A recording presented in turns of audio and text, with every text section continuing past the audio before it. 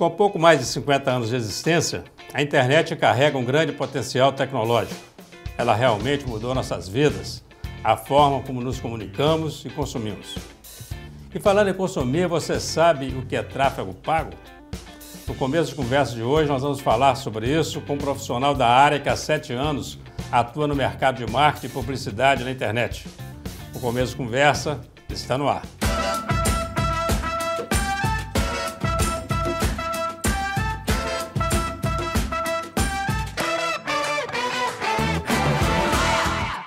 Olá, seja muito bem-vindo ao Começo Conversa, o programa de entrevistas mais assistido na região, produzido pela UNEC TV, mantido pela Fundação Educacional de Caratinga e transmitido pelas TV Sistec e TV Supercanal. Você também pode assisti-lo por meio das mídias digitais. Uma estratégia de marketing digital que promete atrair clientes e transformar cliques em lucro e resultados. Esse é o tráfego pago, um mercado cada vez mais crescente e que, com o avanço da tecnologia, tem tudo para ir cada vez mais longe. Hoje vamos conhecer mais sobre esse mercado com quem entende do assunto, Nicolas Rodrigues. Seja muito bem-vindo, Nicolas. Ah, obrigado. Prazer, tá? Por favor, senta aí. Obrigado. Muito bom ter você aqui para a gente falar sobre isso. Tráfego É um pago, marketing, marketing digital. E para começo de conversa, eu queria que você falasse para nós o que, que é exatamente tráfego pago. Então, tráfego pago, ele é um método né, de se obter os resultados mais variados na internet. A gente basicamente tem o orgânico e o pago, né? Então, quando, por exemplo, eu tenho meu negócio e eu posto alguma coisa no meu Instagram, no meu Facebook, o Facebook ele, ele vai mostrar para um certo número de pessoas, né? De acordo ali, 10 a 20% dos meus seguidores, no Stories um pouquinho diferente, mas basicamente as pessoas que já interagem com o meu perfil. Com o tráfego pago, ele permite você começar a alcançar pessoas de um determinado público-alvo que não necessariamente te seguem. Então Ah, você pode obter mais visualizações, compras, aí depende do resultado que você está como é querendo que obter. isso? É como se ele fosse um, um, um, um captador de cliente, é isso? O de, o de, o de nichos? É, basicamente, o marketing desde o início, ele sempre quis, sempre teve um público-alvo, né? É. O público-alvo sempre fez parte da estratégia de marketing. E o, as ferramentas hoje, as mídias, elas, com o volume de dados que elas captam, né, elas conseguem saber muito bem quem é o usuário, o que ele consome, o que ele, que ele gosta. Então, essa ferramenta ela consegue disponibilizar para nós anunciantes né, exatamente o que aquele público tem de interesse. Né? Então, vamos supor que eu tenho uma empresa de internet né, e eu quero fazer uma campanha para pais, por exemplo, né, que, é, que é um tomador de decisão, por exemplo, num lar. Então, fazer lá pessoas que têm filhos, eu tenho como segmentar isso dentro da ferramenta, né? Ah, bacana. E os, e os objetivos são diversos, né? Você falou, é um captador de cliente? Talvez, às vezes eu quero só mais alcance do meu perfil, né? Se eu quiser mais visualizações, mais seguidores. Então vai depender do meu objetivo. Não, de qualquer forma, pode, pode estar captando é, é, seguidor, por exemplo. Isso, exatamente, né? Os objetivos variam. Tá, e, e deixa eu ver se eu entendi então. Se você tem um produto e o seu produto é destinado, por exemplo, a pessoas da terceira idade, vamos imaginar isso. E aí nas suas redes sociais você tem gente de todo jeito. Né? É, Você tem Sua crianças, família, tem família, amigos, todo mundo vai lá. amigos. Tem gente que nem é seu cliente, É, com certeza. às vezes é só seu seguidor mesmo. né? Exatamente. E o tráfego pago vai fazer isso, quer dizer, ele, ele foge desse, Desse círculo. desse círculo Exatamente. e vai, e vai buscar pessoas fora dali dentro do perfil do seu produto, do seu dentro do negócio. perfil e dos mais diversos interesses, né? Então a gente tem como segmentar por idade, por sexo, aparelho que a pessoa está usando, se é um iPhone, se é um Android. Por exemplo, se eu quero atingir alguém que, se eu estou vendendo um produto de ticket mais alto, essas pessoas provavelmente vão ter um iPhone, né? Então vai- a gente vai usando esses dados que a ferramenta providencia para nós para tomar a decisão mais acertada para encontrar o público. Bacana. E, e- e quando a gente fala sobre isso, né, sobre marketing, tráfego pago, fica parecendo com uma coisa assim extremamente complicada e a gente sabe que não é. Claro que tem que ser feito por quem é da área, por quem entende, mas todo mundo pode ter acesso, quer dizer, nós estamos falando de quê? De grandes empresas aplicando isso ou uma pequena média empresa, pequeno comerciante, para ele também é um bom negócio? Na verdade, todo mundo tem acesso ao tráfego pago. Aquele botãozinho lá no Instagram, no Facebook, você vê lá impulsionar, né? Aquilo é tráfego pago já. Né? Então, se você está pagando para ter mais alcance ali na sua postagem, aquilo já é uma maneira de tráfego pago. Obviamente, por trás, a gente tem mais estratégias. Por exemplo, existe o gerenciador de anúncios, que não é disponibilizado às vezes, não é tão acessível né, para o usuário comum. Então, lá que a gente costuma fazer as campanhas, ele dá mais possibilidades de, de segmentação, de público-alvo, mas para começar é muito fácil. Né? O Facebook, a rede Meta, né, deixou isso muito acessível para o usuário, por exemplo, através desse botão impulsionar. Isso já é tráfego pago. Ah, muito bem, aquele impulsionar sua publicação. Turbinar, né? É, então isso já é uma, isso, isso já é sair um pouco só do, do, do, do, funcionamento orgânico da coisa. Exatamente, ali ele vai te cobrar, né, o valor, o boleto, cartão, enfim, o que for, e aí ele vai, né, te prometer, ah, você poderia alcançar até mais tantas mil pessoas turbinando essa publicação com apenas tantos reais ao dia. Eles falam dessa maneira. Uhum. Mas essa já é uma maneira mais simplificada, obviamente, mas já é tráfego pago. Interessante. O... Como que é um comerciante comum, um comum, quando eu falo comerciante comum, é o do dia a dia, o cara que tem uma loja e que não tem uma estrutura de marketing atrás dele, não tem nada disso.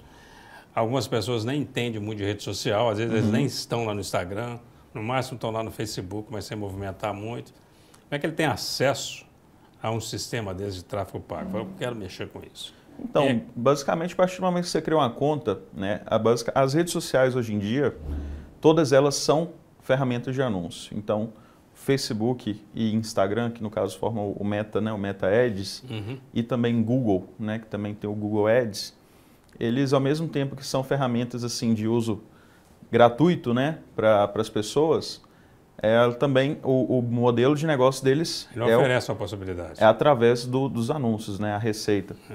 Então, a partir do momento que você tem uma conta né, no Instagram, no Facebook ou no Google, você, você já tem a possibilidade tem de estar anunciando. Quando a, a, o usuário está lá no Instagram e, vamos supor, eu, a pessoa viu um anúncio qualquer no, no, é aquele patrocinado que escrito é, em cima, lá, né? E aí ele, ele, quer saber, quer, quando aparece coisa para cabelo, então, você tem que ver. Essa turma aqui fica tudo maluca.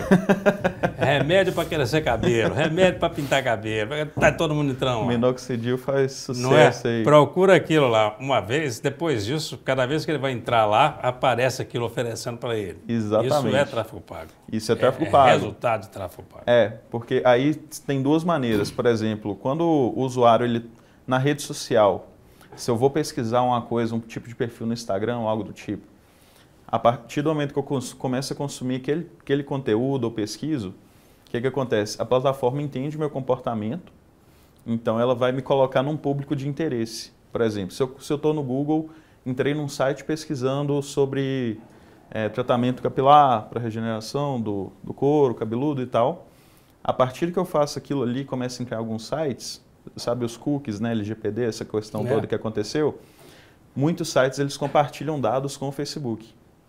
Então, eu posso estar, eu posso estar fora do Facebook pesquisando no Google, mas a partir do momento que eu entrei num site pesquisando sobre um certo assunto, aquele site envia informação para o Facebook e me falando, ó, esse cara tem interesse nesse tipo de produto.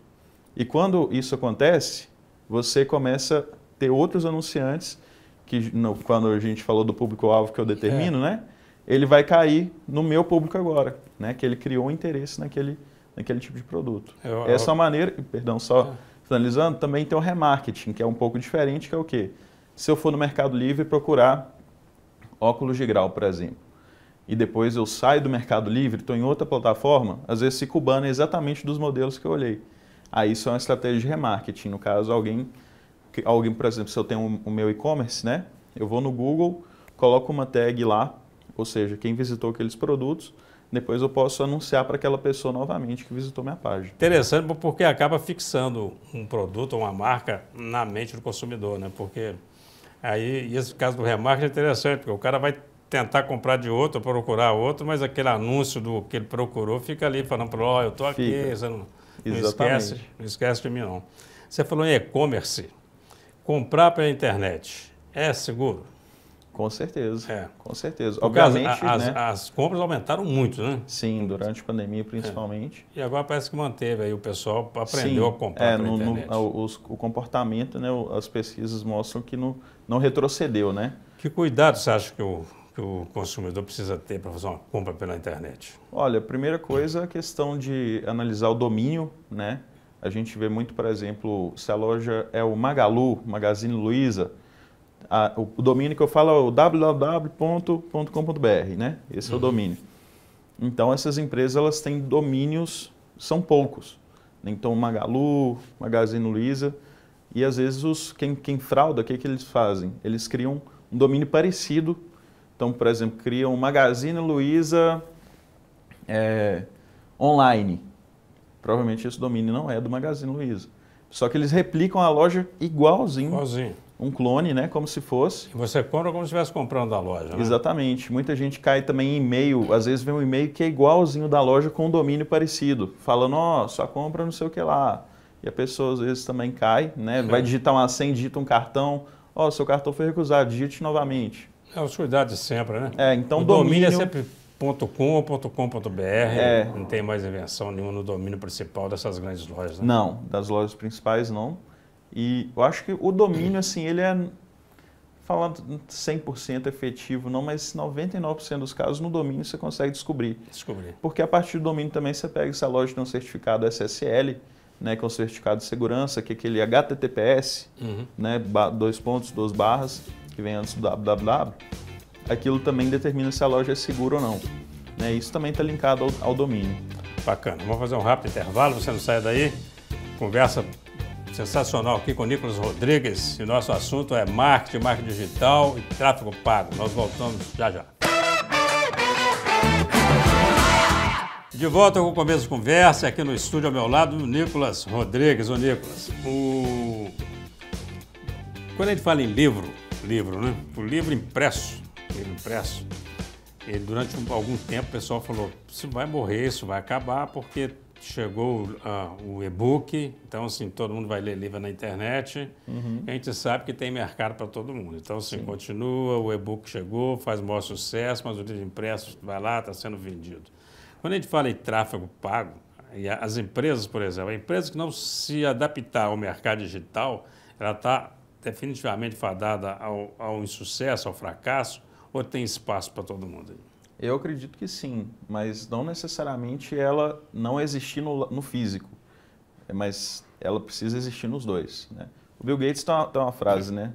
No futuro existirão aquelas empresas que, que existem e estão na internet e não existirão as outras empresas, Muito bem. né? Então, a pessoa que a empresa que ela não tem presença no digital, não o negócio local dela, né? A gente pode ter um negócio local, isso nunca vai morrer É. né?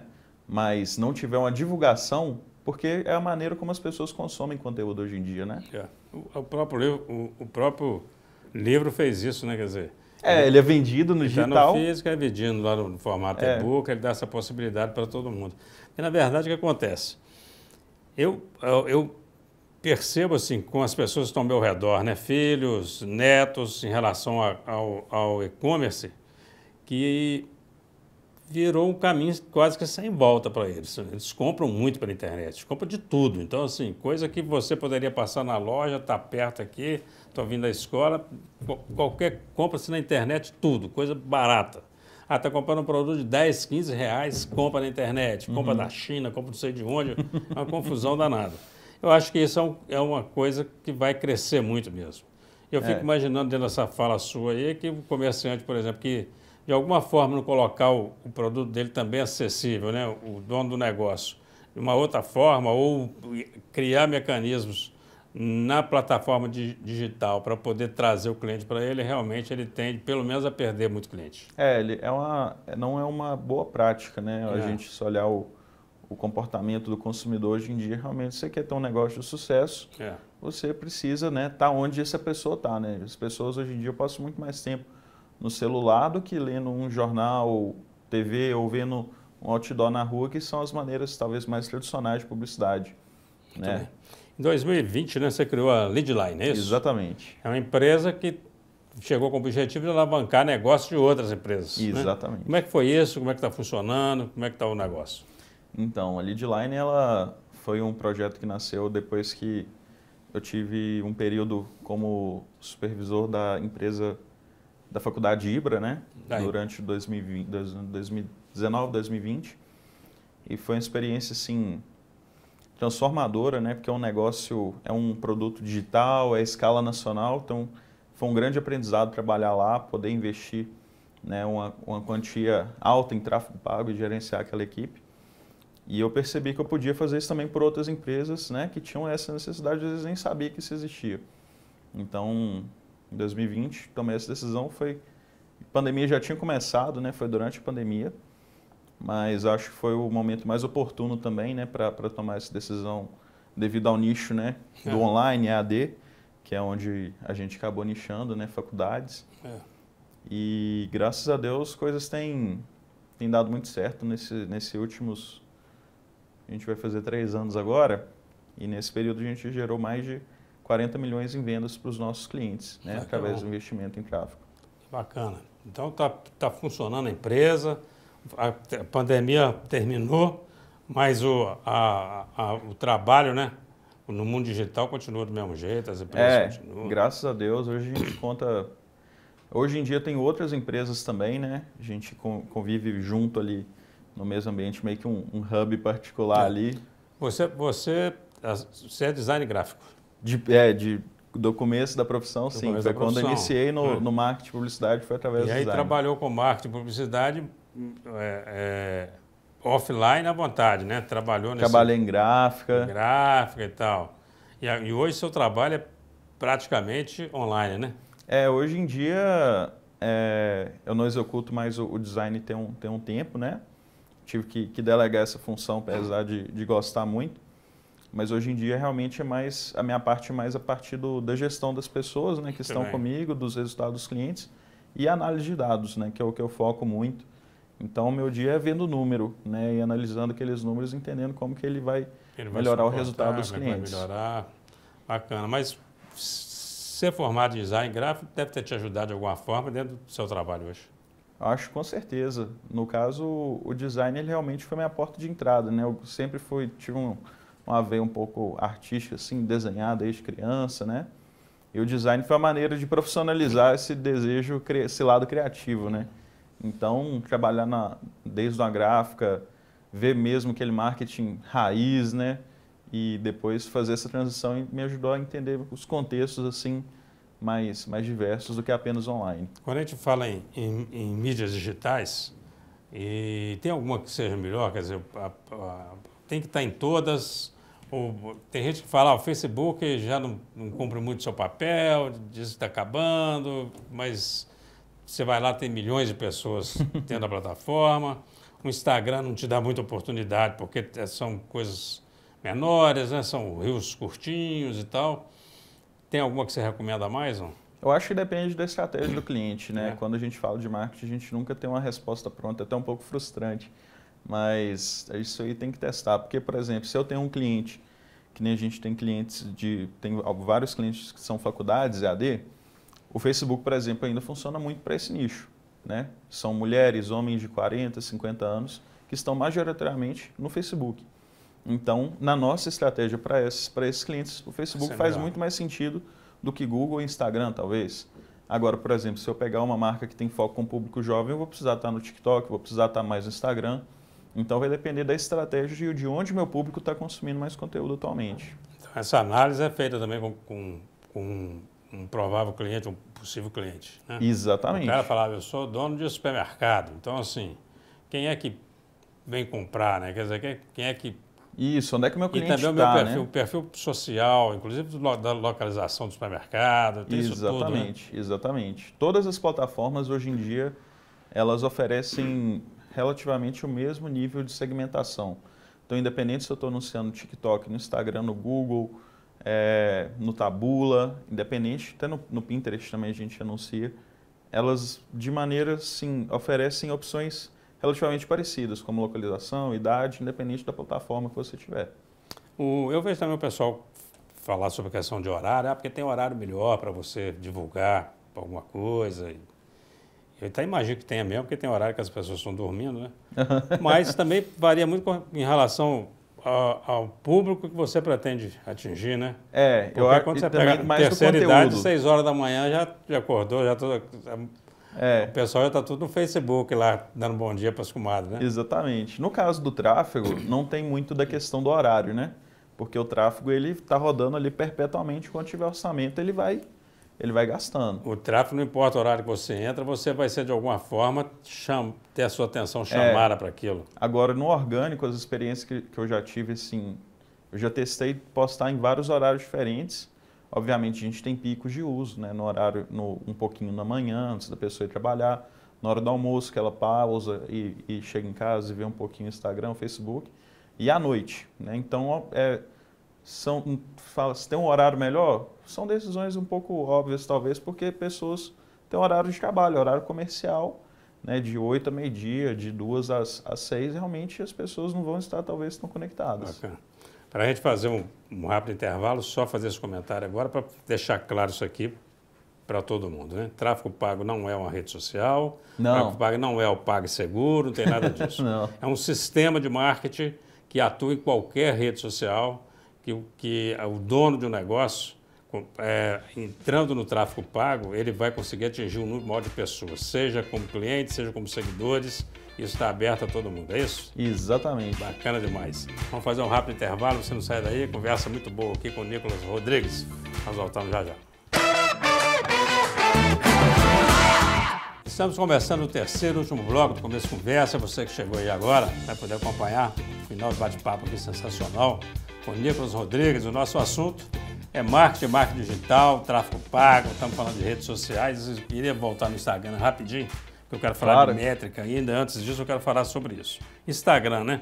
O que, que vende mais? Vende, entre aspas, né? o que atinge mais seu objetivo? É o Reels? É, a, é, a, é, a, é o Story? É, é o feed, é, né? É, o feed, o que, que é? Então, as plataformas, obviamente, hoje em dia, elas têm um, um viés para vídeos curtos em formato de stories. Isso é inegável, né? Com uh, o advento aí do, do TikTok, né, ele mudou muito o comportamento do usuário. Né? A gente não tinha, a gente tinha muita questão do, do, do feed ali da peça, uma foto, né? O Instagram era baseado nisso, né? Uhum. Fotos. Mas com o TikTok ele veio e o, e o Instagram teve que se adaptar, né?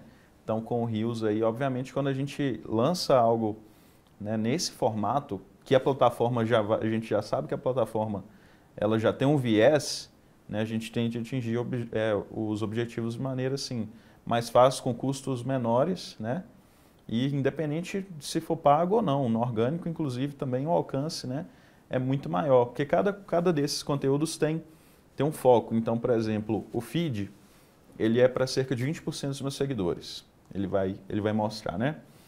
No Stories, ele já tem um alcance maior que quem realmente me acompanha. E o Rios ele mostra para quem não está na sua base de seguidores. Ah, muito bem. O Rios ele sai um pouquinho, por isso que o Rios viraliza e uma foto de feed talvez nem tanto. Nem tanto. Entendi.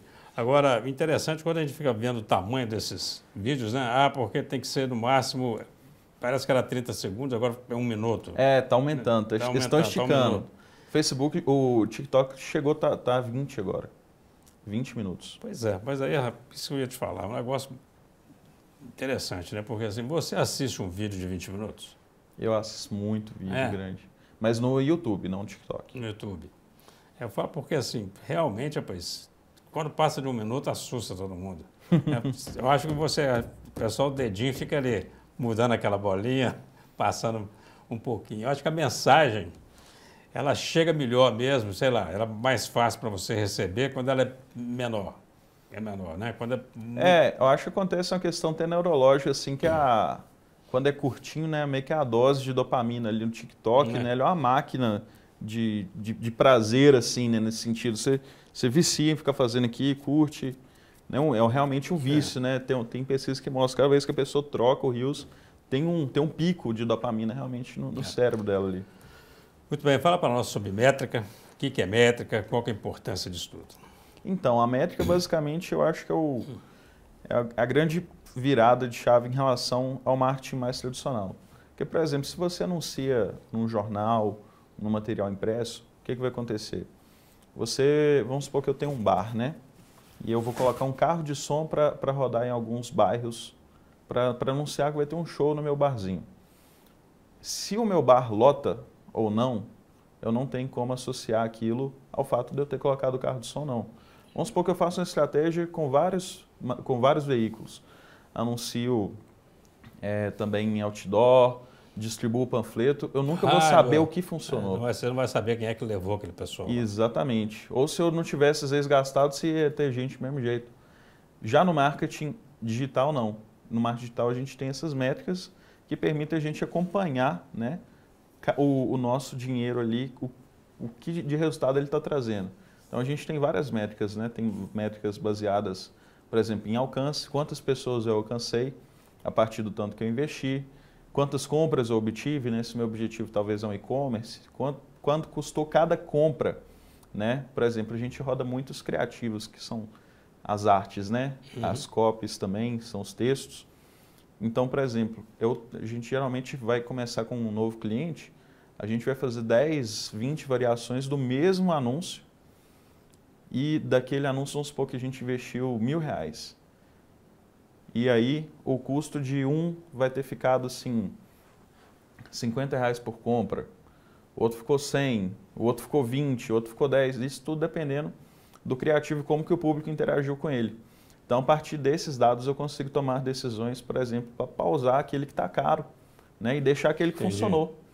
Então, eu sei exatamente, por exemplo, se o do Rios funcionou mais, se o Stories funcionou mais, se o Instagram se o Facebook funcionou mais a partir dessas métricas que ele consegue filtrar exatamente assim, ó, quando você anunciou no, no Facebook, o, você conseguiu alcançar tantas pessoas, aqui você conseguiu alcançar tantas.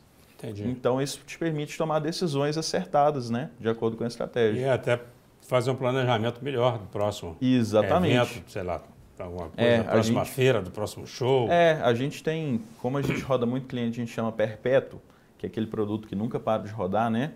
a gente está sempre anunciando, porque os clientes sempre precisam de vendas, é, a gente tem um ritual que chama CRO, né? que é o Converse, Conversion Rate Optimization, que é o quê? A otimização constante da taxa de conversão. Então, o tráfego, com, a, com o tempo, a tendência dele é só melhorar. Né? Porque no começo é um aprendizado muito grande você só está otimizando. Cada dia você está filtrando ali, ajustando cada coisinha no, nos mínimos detalhes. Muito bem. Você, como, como profissional da, da área. E aí, assim, eu, até por curiosidade, eu queria saber a sua opinião sobre isso, né? Se você pudesse citar, por exemplo, um produto que está em amplo crescimento no mercado, um outro que está parado, mas está tá lá em cima no, no, no, no sucesso, e um outro que está declinando e que a tendência é subir. Você pode falar para mim? Você fala tipo um produto. Pode ser qualquer produto. Pode ser Pode ser um serviço, pode ser um bem físico, pode ser qualquer coisa. Então, tem nichos assim que são muito atrativos para se vender na internet. Por exemplo, quando ele não tem uma limitação geográfica, por exemplo, é maravilhoso para nós, é. né? Porque ele permite a gente alcançar um número grande de pessoas com investimento. É o contrário do, do marketing tradicional às vezes, né? O marketing tradicional Quanto menor a área de ação, talvez melhor, porque Sim. menos veículos. Né? Mas às vezes, independente do, do, da, do, próprio posicionamento mesmo, da atuação do marketing, às vezes é produto que realmente está em, em, morte. Quer dizer, tem produto que está em morte. Como aconteceu com a máquina fotográfica, que hoje você tem só as profissionais, mas você tira no celular. Né? Você, antigamente você comprava uma. Eu já tive uma câmera desse tamanho para filmar, fazer VHS. Hoje você fica fazendo no celular também, né? Ô, Nicolas, agora uma, uma, uma, pergunta que nem tem muito a ver com o nosso assunto, que é ah, mais com a sua percepção mesmo, né, do, do que está acontecendo no mundo em termos de produtos. E aí essa pergunta vai muito até para os estudantes de marketing que estão nos assistindo também agora, né? Quando você fica pensando em produto que está é, em, em, fase de crescimento no mercado, é produto que está declinando, produto que vai morrer, como aconteceu, por exemplo, com a máquina de datilografia, com a máquina fotográfica, né, essa comum. Que produto vem à sua cabeça? Produto em crescimento, produtos em declínio? Então, eu acho que a gente não tem uma grande inversão sem ter muito tempo. Eu acho que desde é. o iPhone, o mundo meio que está parado em questão de inovação em relação à adoção em massa, né?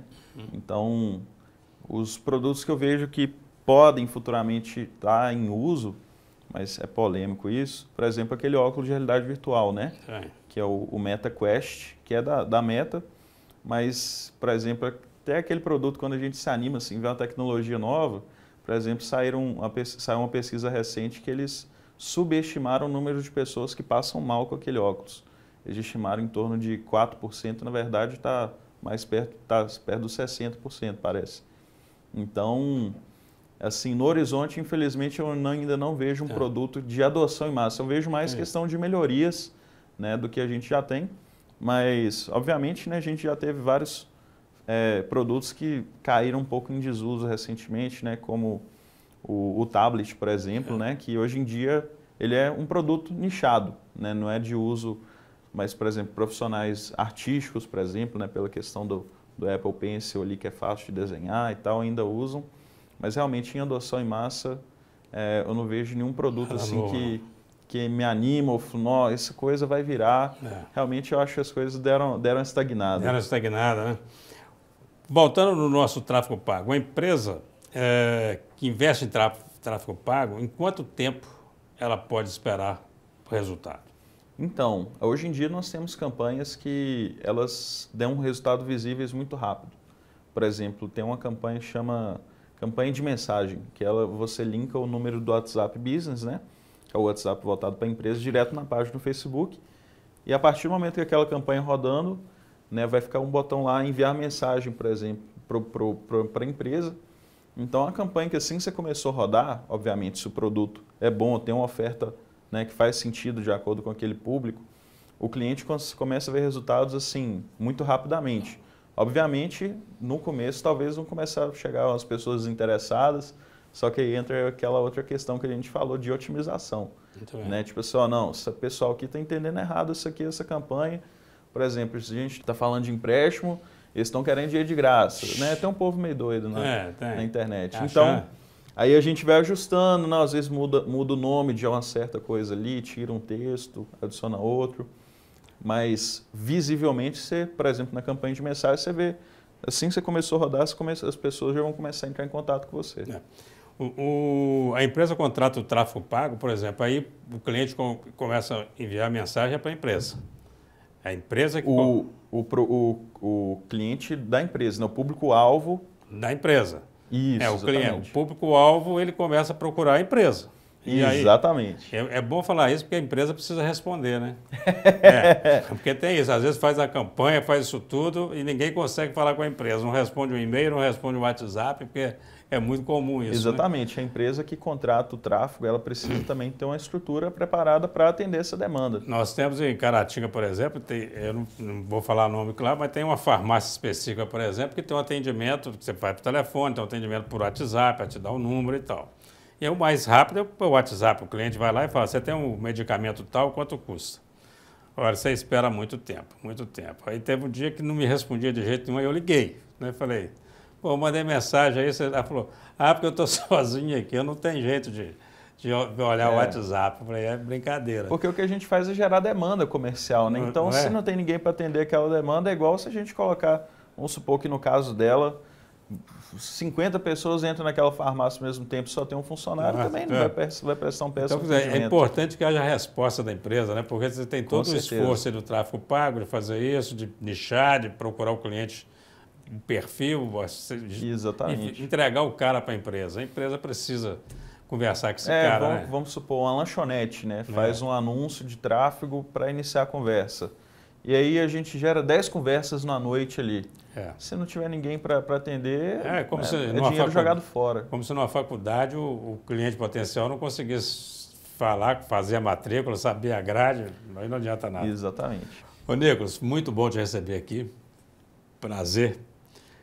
Grande mesmo. Foi bom, levamos informação boa aí sobre, sobre marketing, marketing digital, tráfego pago aí para os telespectadores, para os para os internautas. Você tem agora um minuto para suas considerações finais. Você vai se dirigir aqui para aquela câmera ali, falar com telespectadores aí da ONEC TV, TV Sistec, Supercanal TV, internautas. Aproveita, deixa um, um endereço de contato. Fica à vontade, a câmera é sua. Não, tranquilo. Quero, primeiramente, queria agradecer o, o professor e toda, toda a equipe aí. O, o, João Paulo primeiro entrou em contato comigo lá, me chamando né, para a entrevista. Então, é um prazer enorme estar tá, tá aqui realmente. E queria deixar né, aberto aí o meu Instagram, Nicolas Leadline, né? L-E-A-D-L-I-N-E, escreve um pouquinho diferente. Mas se você tem interesse em aprender mais, estou sempre postando conteúdos no, no meu perfil.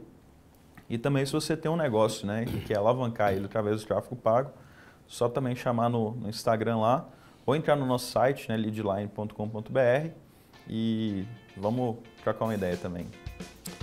Obrigado, Nicolas. Estamos caminhando para o final deste começo de conversa. Você que nos acompanha, obrigado pela audiência, pela atenção e até o próximo encontro, se Deus quiser.